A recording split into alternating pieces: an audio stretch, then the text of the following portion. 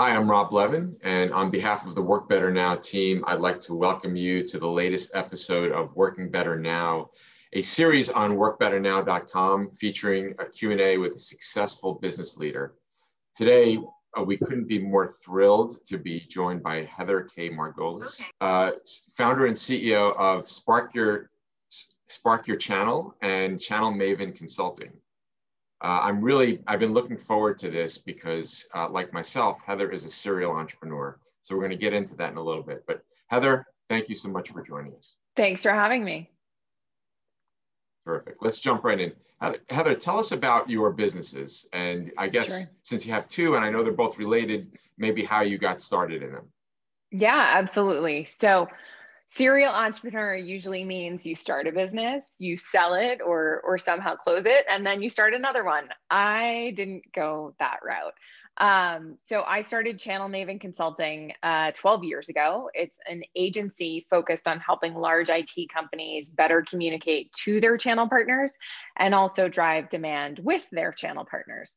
Um, and as part of that last part, especially over the last three years, we've just been feeling super constrained as to how these partners drive demand with these larger companies. So, you know, Google, Microsoft, Cisco, they all these huge companies have channel partners that they help drive demand with.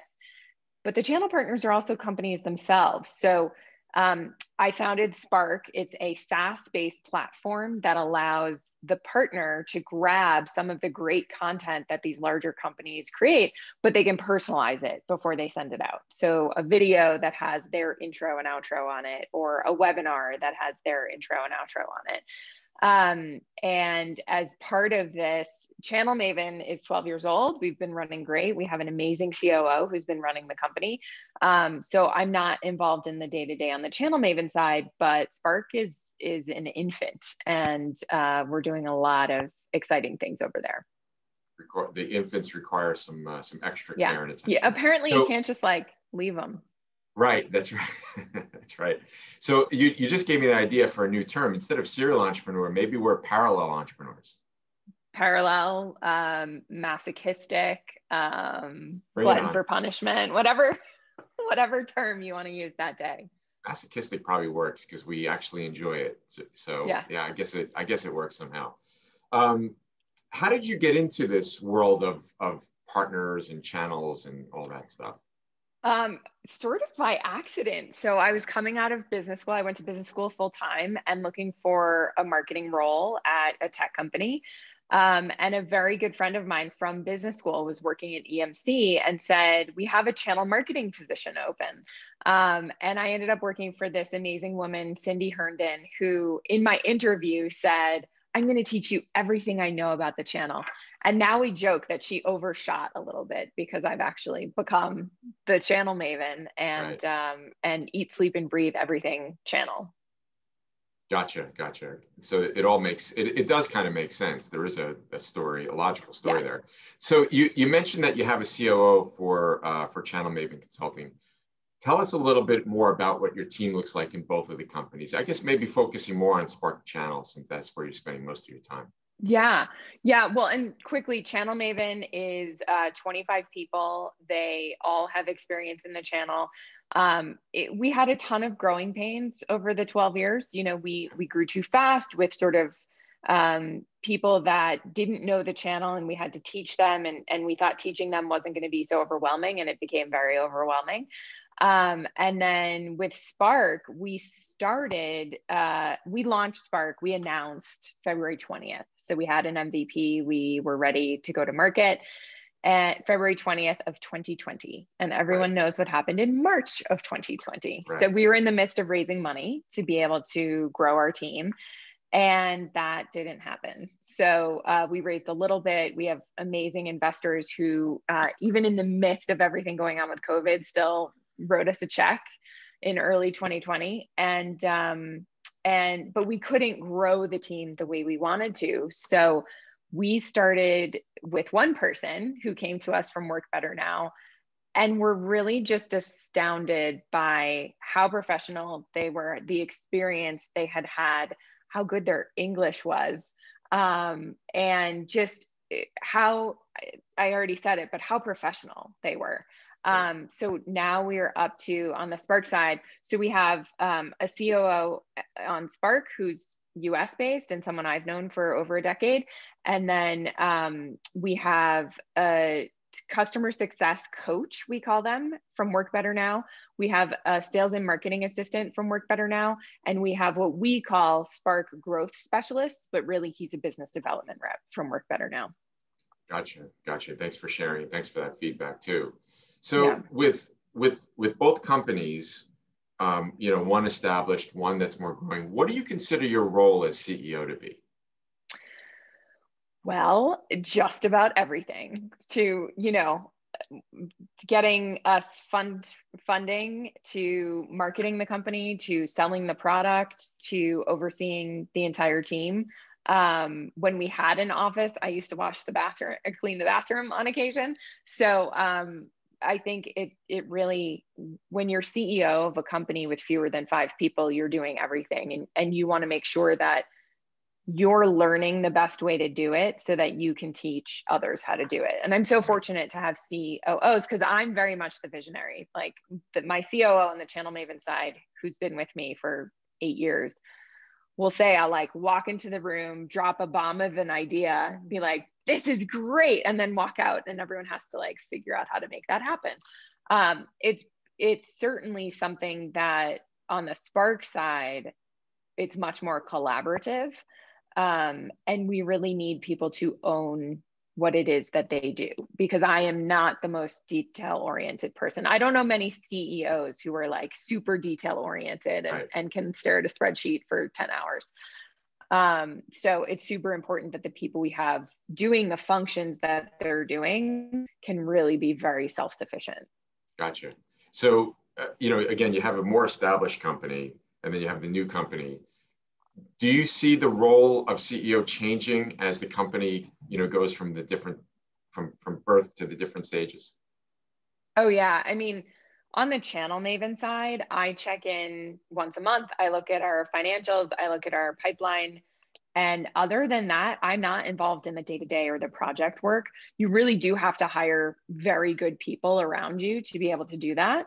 Um, and then on the Spark side, you know, we've really only been in market about a year and and truly only had clients banging on the platform for about eight months. Um, so on that side, I'm much more involved in the day to day and eating, sleeping, and breathing, and and you know talking to investors and raising money and right. sell actually selling the product. Right. Gotcha. Terrific. So we we at, at WBN we believe how you do things is just as important as what you do. What are some of the things that either company, either Channel Maven or Spark, do exceptionally well? I would say we have an amazing reputation in our very small niche of the industry that we're in for being our product is always the best. I mean, we on the channel Maven side, it's content, right? So it's the best content. It's incredibly well written and thought out. We're always taking into account online engagement and SEO and, and keywords and all of those things. But people genuinely like working with our team. So they they feel like on, on, both the channel maven and the spark side they feel like they're being respected. They feel like they're being um, heard that that we're not just saying no this is the way you do it and and i don't care that you have different goals than my other clients. We're really focused on making sure that they feel like they're getting the best of us. And really we become an extension of their team. Um, on the software side we're the only platform in our industry that provides video. Um, really our goal is to make sure that our clients are getting what they want when they want and that they're using the best in class technologies and demand gen strategies to do that Gotcha. Terrific. And you know, in terms of how your your team makes just makes the client feel feel terrific, or clients rather feel terrific. Um, how did that happen? How did that come about? I mean, is that a cultural thing? Is there tech technology? I mean, what? How does that? It's happen? funny. No one's ever no one's ever asked me that. But you know, when I think about the things for me that made the biggest impact, I didn't have a great corporate experience as I was coming up. Right. And um, there were a lot. There was a lot of competition from internal teams that just felt awful for me. So I always knew that when I built a company, I would make sure my employees never felt that, my clients never felt that. Um, on the other side, sometimes we've had to say to clients, I'm sorry, but we can't really do business with you any longer because they're not good to my team. They right. they don't treat my team well.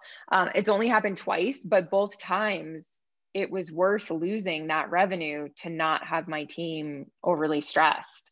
Um, you know, we work 80% of our life, and I don't I don't want people to feel the way I felt earlier on in my career, where I really was miserable going to I love working. I've been working since I was 13. I got a job in a hardware store and then worked at an auto body shop. Like I want to work, but I want to enjoy what I'm doing and the people that I'm doing it with. So I think it was out of my goal for building something that people enjoyed doing. And and you know, we certainly have had team members over the past 12 years who weren't happy and didn't enjoy what they were doing and it was palpable and i would rather have somebody that that we enjoy working with or that we um, can grow with than have someone who's miserable doing what they're doing sure yeah and it's easier said than done i and uh, first of all kudos on on taking that vision and making it a reality because it's not you, you make it sound easy, but it's not that easy. There are those challenges with customers and employees. Yeah. Um, and, and, you know, it's funny. We have a similar mentality at WBN, a, a relatively new company as well, where uh, Andrew, who's the CEO, who you know, uh, uh, and I decided very early on when he's speaking with a potential client, if it sounds like they're going to be a problem and they're not going to treat our VAs well, we we just can't help them.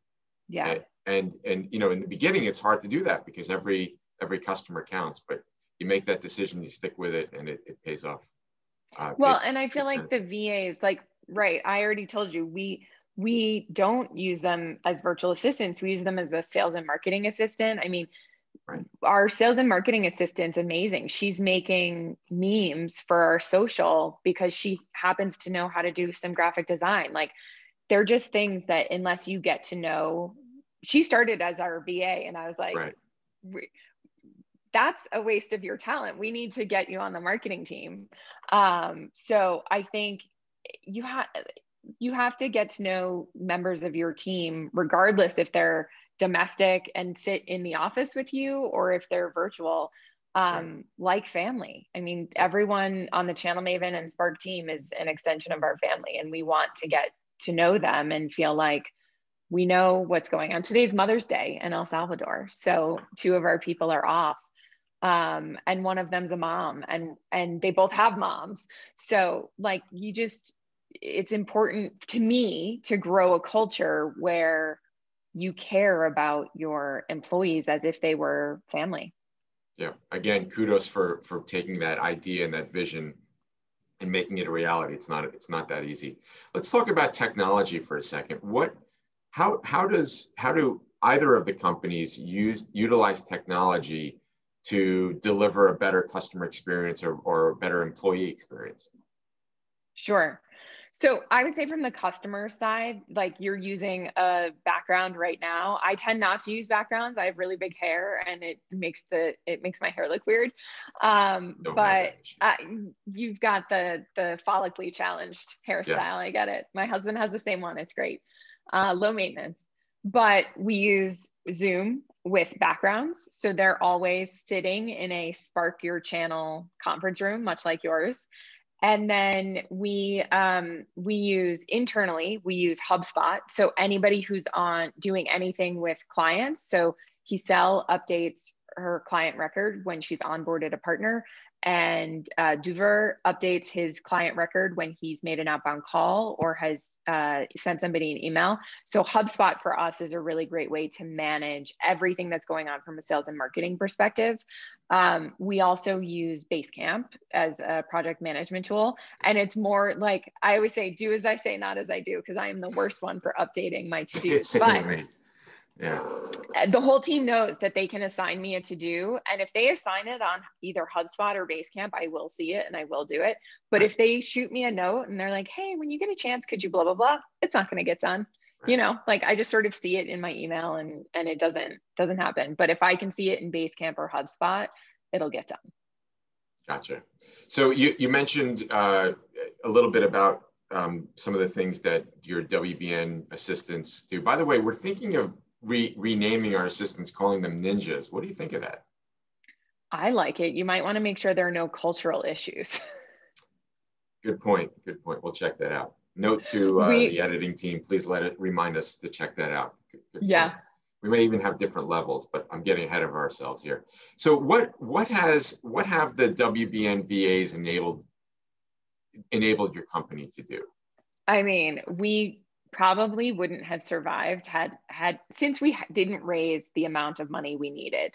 Right. We had all of these these positions that as we're selling the software we really need people to fulfill and you know when you first hear virtual assistant from latin america you're thinking just a virtual assistant but these people have worked for microsoft and google and they've been customer success reps and they've been marketing assistants um, and you know, one that we spoke to had a master's in marketing. So it, I think the first thing is that you have to sort of dispel a lot of the um, the ideas you have in your head of what what a virtual assistant is capable of right. um, and then yeah i mean when when irene was my virtual assistant like i felt super spoiled and and that was part of it right like I'm in the middle of fundraising. I have a startup with five employees. One of them can't be keeping my calendar. Like it just felt like right. it felt a little gluttonous for me. Uh, if it were just for Channel Maven, I totally would do it. But we need right. to focus on what our investors are seeing us do as well. And then, um, I, you know, they really have taken control of the the customer experience. So when we're onboarding a partner, I don't have time to do that. Our um, we have a global account director. He was getting bombarded. I mean, we were over. We were onboarding hundreds of partners a month. Um, so it it just wouldn't have been possible. I don't know what we would have done. And and we always try to you know, the CEO and the COO can wear a lot of different hats, but when you get down to a certain level, you want to make sure that they have a core focus and a core goal. Otherwise, they're going to get overwhelmed and not do any of the things right. Right. Great. Thanks for sharing. Um, yeah. So when when you're not being masochistic and, and running two companies, what do you like to do with your free time? Well, just to add insult to injury, I have a three and a five year old girl, two girls and uh, we do a lot of bike riding and soccer. I live in beautiful Boulder, Colorado, so a ton of hiking. Um, and we're really looking forward to things opening up a little bit here so that we can get back into the pool and, and get the girls swimming and, and camping and all the things you would expect a small family to do. My husband's also an entrepreneur, so that, you know, just to pile it on. Right. Um, he owns a chocolate supplement company, so totally different business. Right. But um, we like to get outside as much as possible. Gotcha. Heather, thanks so much for for sharing all of these insights with us. Where can people find out more about you and your companies? Yeah, so on LinkedIn, I'm just Heather K. Margolis. And then Channel Maven is uh, www.channelmavenconsulting.com and Spark Your Channel is sparkyourchannel.com. Simple enough. Heather, thanks again for spending some thanks, time Rob. with us, and uh, we'll be speaking soon.